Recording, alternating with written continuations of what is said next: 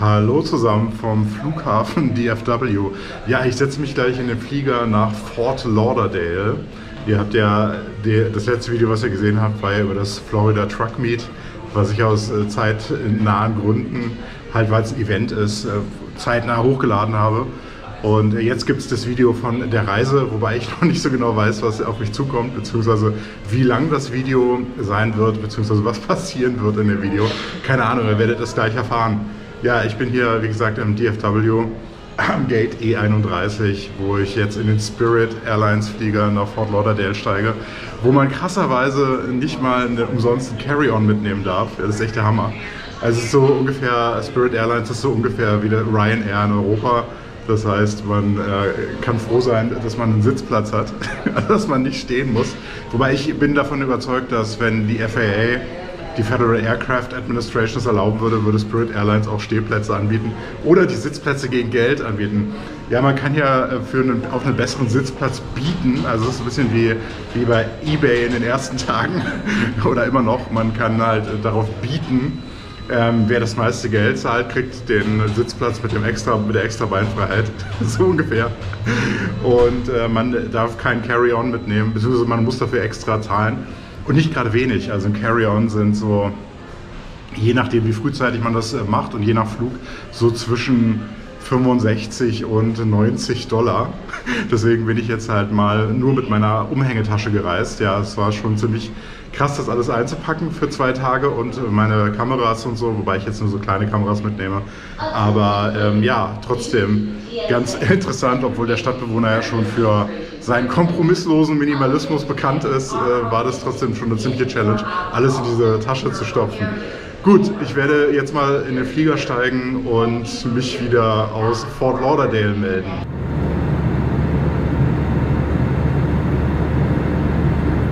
Ich habe es jetzt nach Fort Lauderdale geschafft. Der Flug war 2 Stunden 30 etwa lang, äh, wobei alles ungefähr zwei bis vier Stunden von Dallas Fort Worth entfernt ist, was sich innerhalb der USA und äh, das meiste Teil von Mexiko bewegt.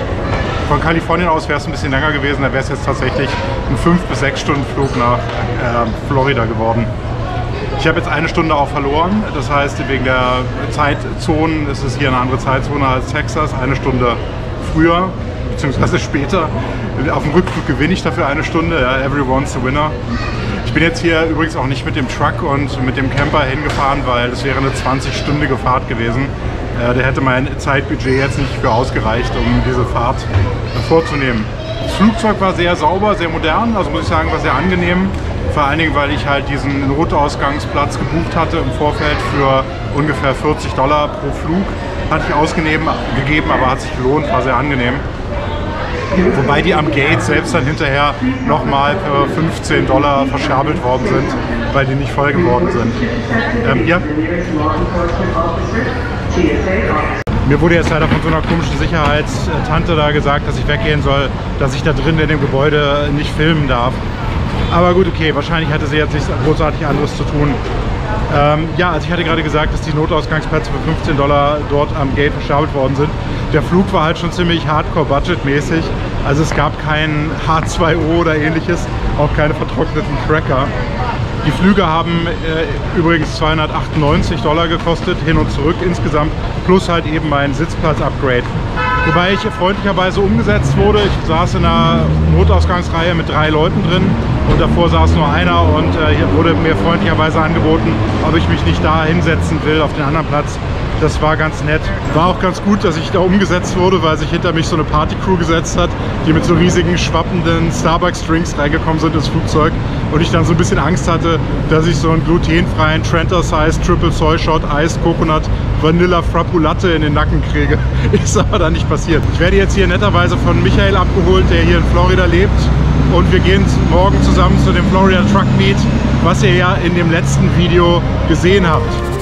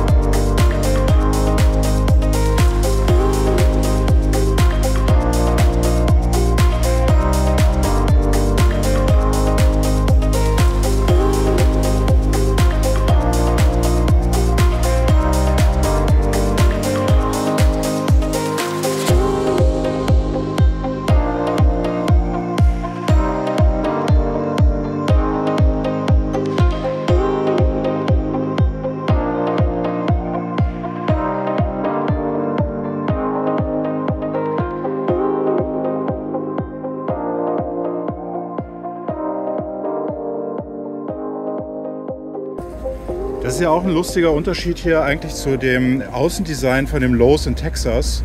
Dass in Texas überall Grills und Barbecues sind außerhalb vom Lowe's. Also du hast halt eine ganze Reihe, so 100 Grills oder Barbecues oder so, da, vielleicht übertreibe ich, ja.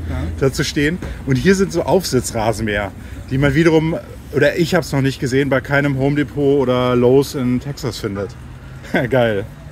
Ach cool, und so Golfkarts gibt es ja auch, die habe ich auch noch nicht, also werden sicherlich auch verkauft in Texas, aber habe ich dort noch nicht gesehen. Ist es wegen den Golfplätzen hier? Gibt es so viele Golfplätze oder? Nein, die fahren damit privat rum. Ah, okay. So in den Suburbs cruisen die hier dann privat mit der, den. Nehmen wir das Auto heute zum Supermarkt oder nehmen wir. Golfkart. Ja, Golfkart, geil. Also kannst du mit diesem Golfkart überall rumfahren oder?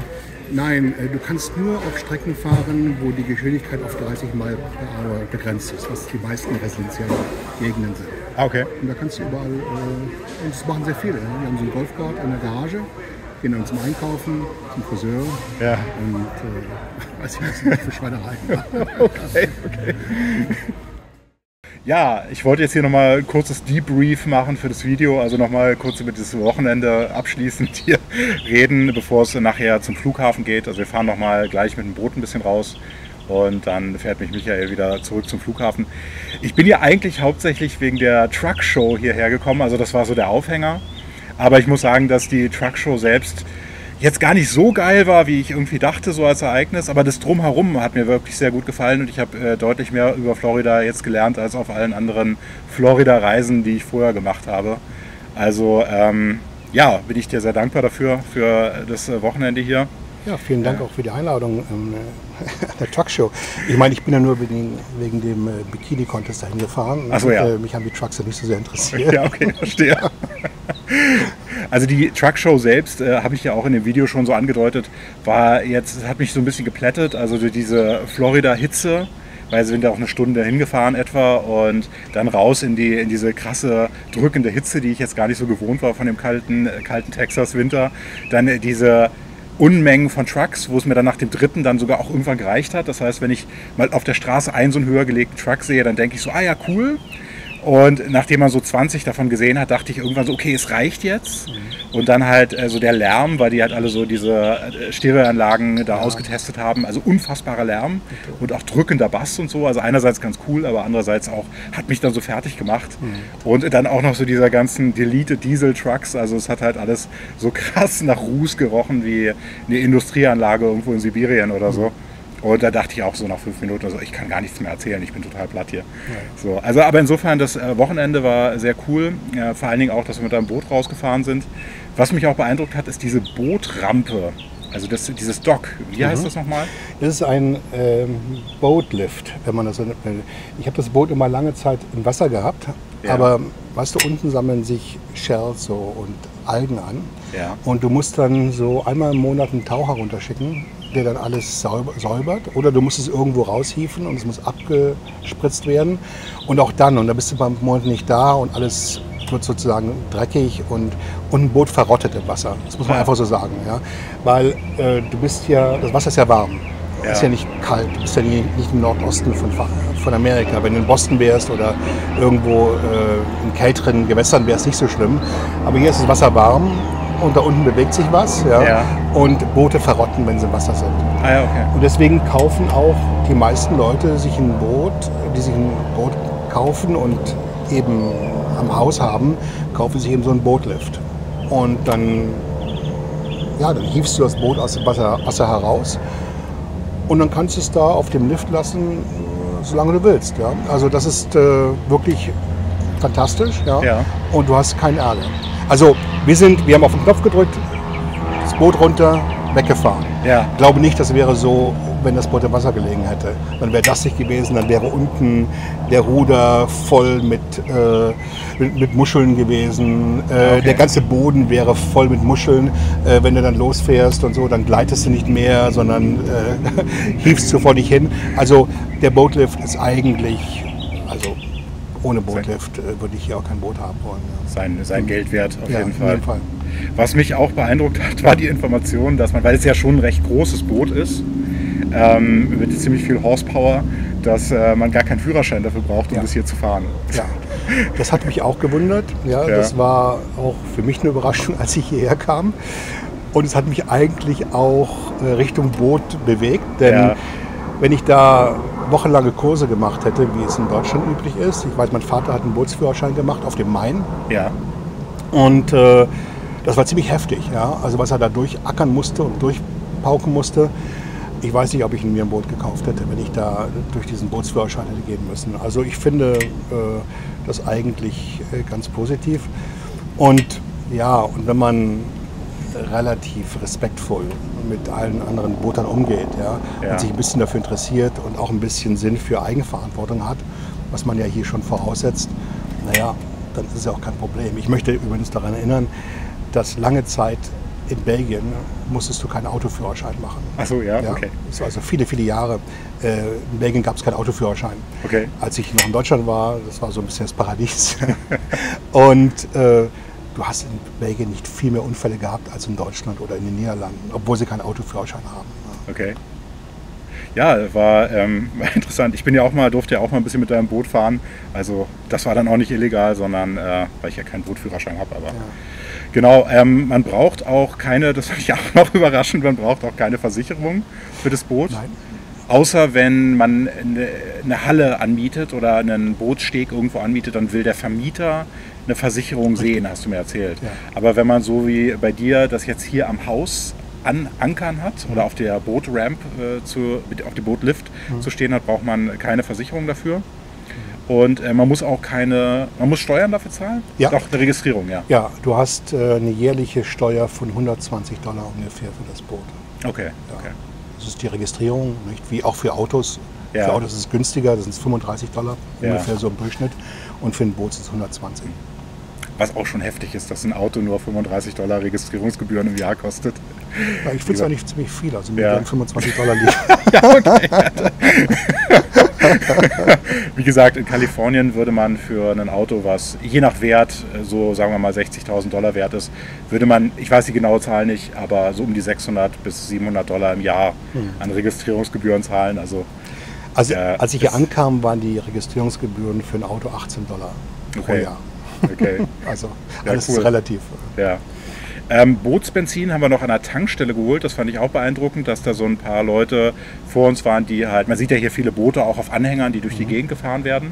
Also von Leuten, die, die, die nicht am Wasser wohnen wahrscheinlich. Richtig. Und die dann halt auf dem Grundstück zu stehen haben. Sofern sie nicht in irgendeiner HOA wohnen, die ihnen das verbietet oder so.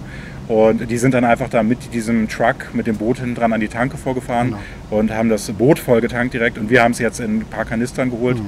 Weil es ein bisschen günstiger ist und nicht ganz so nervig wie, ähm, als wenn man am Wasser irgendwo, Ja. an einer Wassertankstelle, die es auch gibt, äh, Benzin holt. Naja, also in unserem Fall ist es so, es gibt, äh, du musst ja dieses ethanolfreie äh, Benzin tanken, um die Motoren nicht zu schädigen. Ja, Und da gibt es nicht so wahnsinnig viele Tankstellen ja, dafür, für ethanolfrei. ja, Und die sind meistens auch an der Brücke, wo viel Durchfahrten sind und dann wartest du auf deinen Platz, bis du tanken kannst und dann musst du das Boot immer manövrieren. Also es ist sehr umständlich. ja. Und dann ist es eben auch äh, nicht unerheblich teurer. Ja. Also deswegen tanken viele Leute das eben an den normalen Tankstellen. Ja. Äh, und äh, wie wir es heute gesehen haben, da mit dem Schlauchboot, da haben jemand an der Tankstelle getankt und das ist also üblich, dass man da auffährt. Ja. Ja, okay, okay. Was ich auch noch ganz spannend fand, das wusste ich vorher auch nicht, ist, dass es einen großen Unterschied macht zwischen Ostseite, also ich sage jetzt mal Fort Lauderdale, aber es ist ja nur eine Stadt von vielen. Wir sind hier in Pompano Beach, wie ich in einem anderen Video auch schon meinte. Und äh, du hast mir früher schon erzählt, dass die Westseite von Florida sehr moskitoverseucht ist Richtig. und die Ostseite nicht so. Und ich dachte mal, du redest von der Golfseite versus der Atlantikseite. Aber es ist ja tatsächlich, die Everglades nehmen ja einen großen Teil von hier dem südlichen Teil von Florida ein. Und mit Westseite meinst du die Westseite von diesem schmalen, besiedelten Streifen Richtig. an der Atlantikküste. Und da ist ein großer Unterschied, was so die Moskitos und Mücken angeht, zwischen hier der Atlantikseite, der Ostseite, Mhm. und der Westseite von diesem schmalen Siedlungsstreifen. Ja. Also schmal ist er nicht, aber und auf der Westseite, weil es so dicht an den Everglades ist. Ja, es ist so, ähm, die Everglades ist ja das größte, ist glaube ich der größte Naturpark der Vereinigten Staaten. Ja, Du kannst also eben nur äh, ja, zwischen den Everglades und dem Meer sich ansiedeln. Deswegen ist es so ein ganz langer, langgezogener Landstrip. Das waren ja früher mehrere Orte, so von Key West, Miami, äh, dann Fort Lauderdale und dann Palm Beach und höher dann nach Melbourne.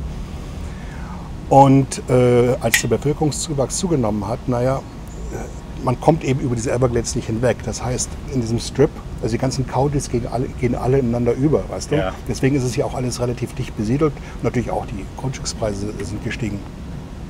Aber als ich hierher kam, war es so, wenn du am Wasser bist, äh, sind die Grundstücke natürlich weitaus teurer, äh, weil eben viele Leute ganz gerne ein Boot haben wollen oder am Wasser sein wollen. Während du ähm, im Westen von hier bist, also im Osten von den Everglades her gesehen, da waren eben die Preise billiger. Also für den Preis von einem kleinen Häuschen hier, in dem ich hier wohne, äh, könnte ich mir ein riesen, also könnte ich mir ein vierfach größeres Haus kaufen mit riesigen Parkanlagen, Ja. wenn ich äh, Everglades-Seite gehe. Und das habe ich auch damals so ja, in, in Erwägung gezogen. Aber als ich da die Häuser besucht habe, habe ich mich immer gewundert, warum so viele Gitter über den Pools sind. Ja, überall waren Gitter über den Pools. Und da kam mir schon so ein bisschen, dachte ich, ja, kam mir schon ein bisschen spanisch vor. Ja. Dann habe ich das weiter investigiert und äh, habe dann eben herausgefunden, dass du da draußen überhaupt nicht sitzen kannst. Du kannst gar nicht, so wie wir jetzt hier am Pool sitzen, weil du wirst von Moskitos und Insekten zerstochen.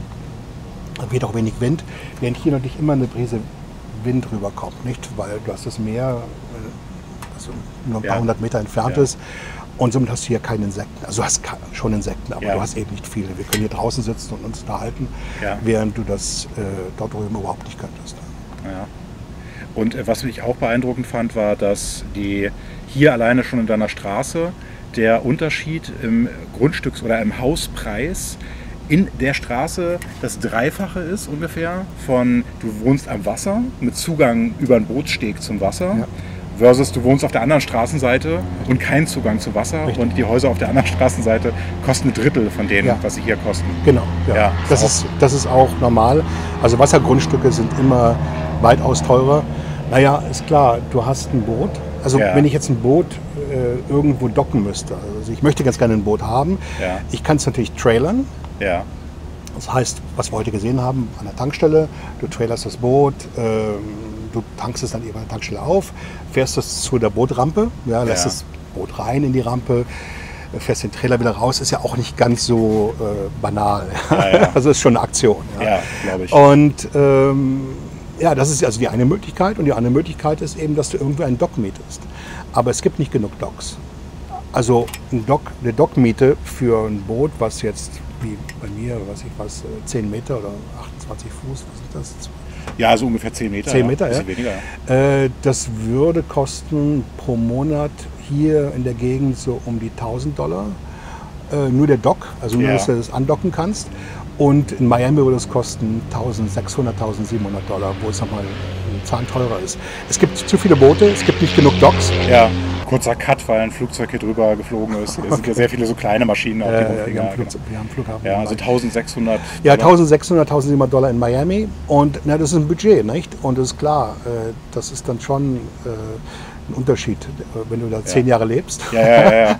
das, sind, das macht einen großen Unterschied aus. Nicht? Du sparst hier mit dem Haus am Wasser noch. Richtig. Und vor allen Dingen ist es so, die Wassergrundstücke halten natürlich ihren Preis auch besser. Nicht? Also wenn es mal zum Preisfall kommt und so, dann ja, und äh, wir hatten ja hier 50 Prozent äh, Preisverlust 2008 während der Immobilienkrise. Dann sind eben die Wassergrundstücke, die gehen zwar auch runter, aber die gehen nicht so viel runter wie eben die anderen Häuser, die eben kein Wassergrundstück sind. Ja, okay. Okay. Ähm, mir ist auch noch aufgefallen, also als, aus Texas kommend ist es ja überall immer so ein bisschen unhöflicher. Also du hast ja diese generelle Südstaatenhöflichkeit. Wobei ich sagen muss, dass als ich aus Kalifornien hier mal hergereist bin, fand ich Leute sehr warmherzig und sehr angenehm und sehr höflich. Und jetzt ist mir, also mir ist es so aufgefallen, es gibt schon so eine ge- gewisse Warmherzigkeit und die Leute sind so, haben so ein sonniges Gemüt auch. Aber diese Höflichkeit, diese ausgeprägte wie in Texas, ist halt diese formelle Höflichkeit, ist hier halt auch nicht so vorhanden. Und diese eine Story, die ich dir vorhin erzählt habe, fand ich auch ganz interessant, als wir, also long story short, ich da so in so einer, neben so einer Line gestanden habe, wo Leute am Restaurant angestanden haben, weil es geregnet hat, war nicht viel Platz. Und so ein Typ meinte zu mir, nachdem ich zu einer, seiner Frau, glaube ich, gesagt habe, no, no, I'm not waiting in line, so please go ahead. Und dann meinte er zu mir, also lächelnd, freundlich, nicht aggressiv, aber meinte zu mir, so you're not waiting in line. Uh, why are you standing here? So, warum stehe ich denn dann da? Und ich habe dann auch höflich geantwortet, ja, a friend is picking me up. I'm waiting for him to pick me up.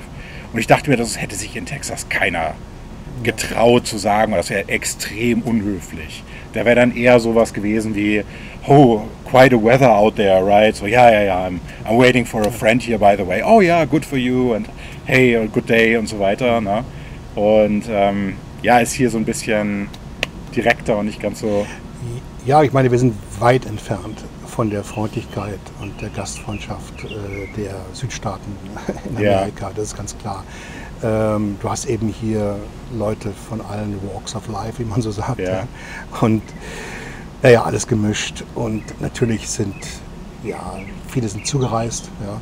Du hast die netten Zugereisten, du hast die nicht so netten Zugereisten. Also, äh, Die nein. Snowbirds auch. Du hast die ne? Snowbirds, ähm, die, ja, die sind auch teilweise nicht immer so angenehm. Ja.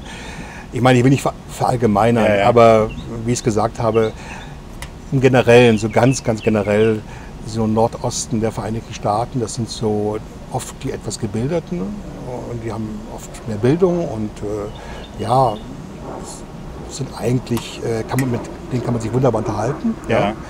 Ähm, aber sie sind eben doch ein bisschen aggressiv ja, in, ihrer, in, ihrer, in ihrer Haltung im Vergleich zu jemandem, der von Iowa kommt oder von Texas Ja. oder von anderen Staaten. Und äh, das merkst du schon. Ja, und ja, es ist so. Ja. Es ist nicht irgendwo so ein Paradies, wo du freundschaftlich und in Harmonie mit allen Leuten zusammenlebst. Ne? Ja. Ja, interessant. Also insofern unterscheidet sich Florida so ein bisschen auch von den anderen Südstaaten, obwohl es ja auch eindeutig geografisch, vielleicht auch politisch so ein bisschen in die ähm, zu den Südstaaten gehört. Snowbirds sind äh, übrigens Leute, die, und den Begriff kannte ich zwar vorher, aber hatte ich jetzt gar nicht mehr so im Hinterkopf, die halt hier überwintern. Also die halt im Winter nach Florida kommen und im Sommer ansonsten irgendwo in Kanada oder New York oder an der nördlichen Ostküste halt leben. Ähm, aber politisch, wir waren ja auch in Little Havana, fand ich auch recht äh, beeindruckend. Da sind wir in das Restaurant Versailles gegangen. Also man muss gar nicht nach Frankreich, um ins Versailles, nach Versailles zu gehen, also ins Versailles. Gut. Und äh, es ist ein empfehlenswertes Restaurant, was aber gar nicht so touristisch ist, obwohl halt lange Schlangen immer davor sind. Da gehen da tatsächlich eher die Kubaner Ja. essen. Und da ist mir auch an der Fotowand aufgefallen, beziehungsweise du hast es mir gezeigt, also es ist mir jetzt nicht einfach so aufgefallen, wie ähm, das rund um dieses Restaurant ähm, so jubelnde Massen mal waren, als Fidel Castro gestorben ist. Weil die Exil-Kubaner hier, kann man jetzt so sagen, Castro halt hassen oder gehasst haben. Ja, also, also will ich dir jetzt nicht in den Mund legen, die Worte. Hassen aber, ist ein mildes Wort. Okay, okay. Ich dachte gerade, du wolltest mich jetzt so ein bisschen so, nein, hassen tun sie nicht oder so, aber okay.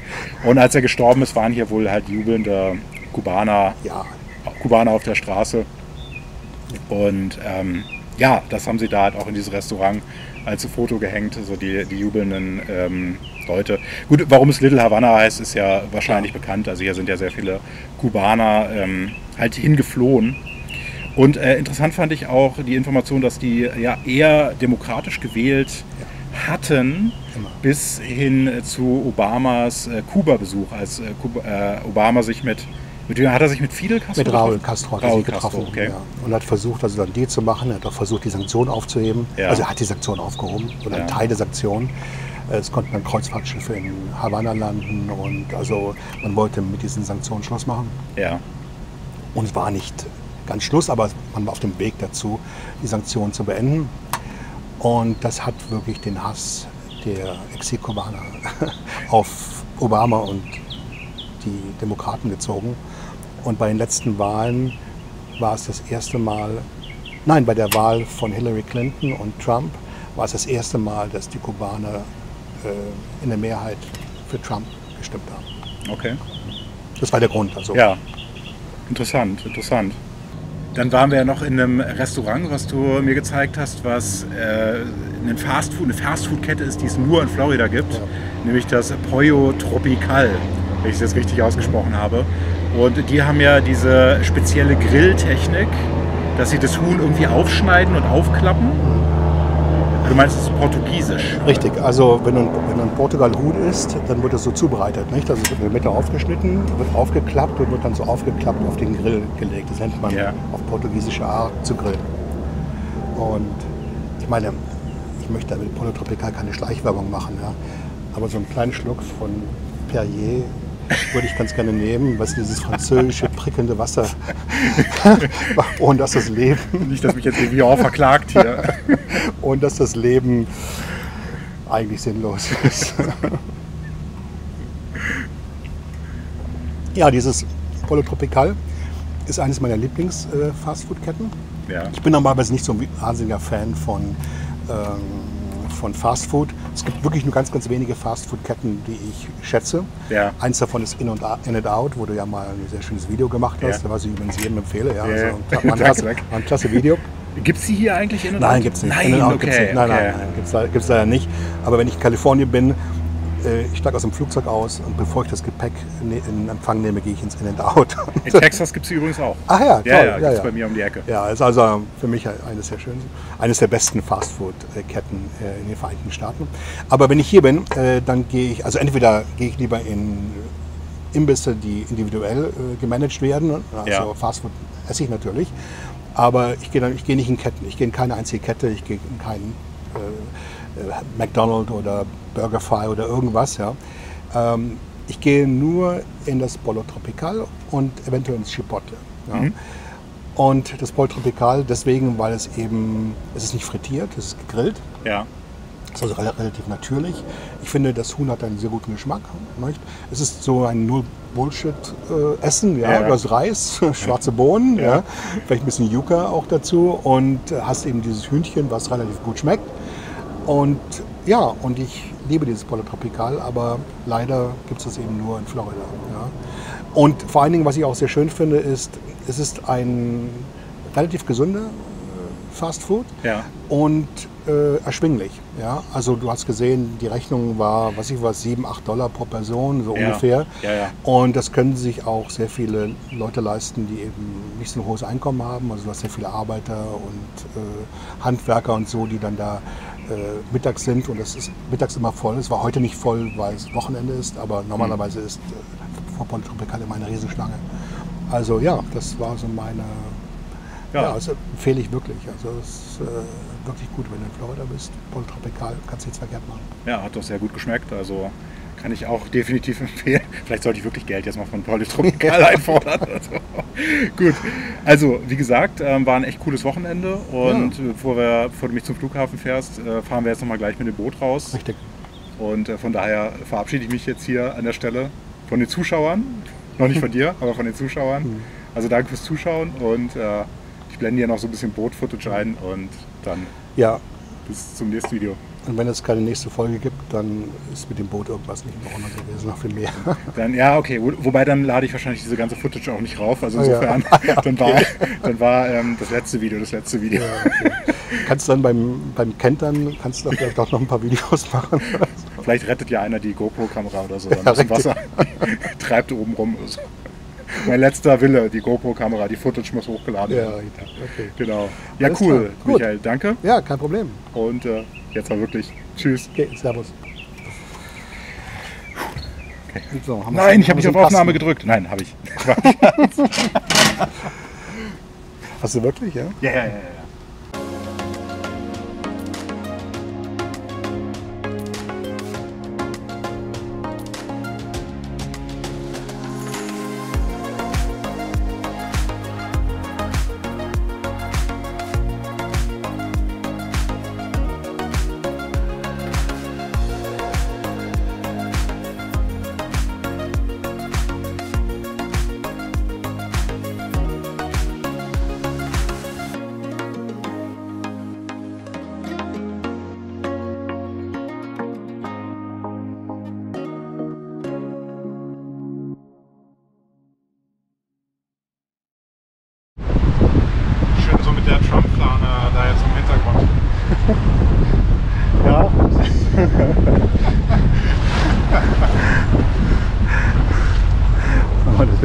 Nicht missen.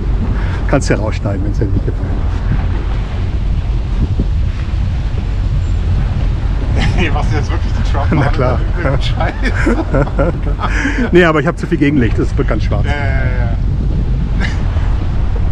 Ich sieht so aus, wie ich spreche, ah, Trump, toll und so. Also, ist es egal. Hier, hier, hier habe ich besseres Licht. Das Licht kommt Ja. von, von links.